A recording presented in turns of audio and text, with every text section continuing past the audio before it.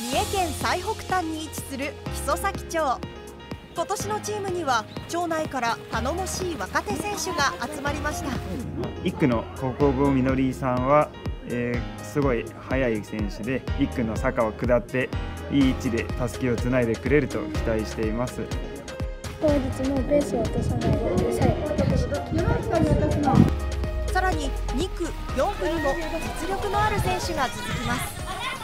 走り切れた達成感が欲しいです。1.8をちゃんと走ることを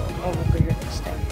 です本番緊張すると思いますけど自分らしい走りができるようにいっぱい練習したいです。今年は木曽崎町出身の選手がでほとんどチームを組めて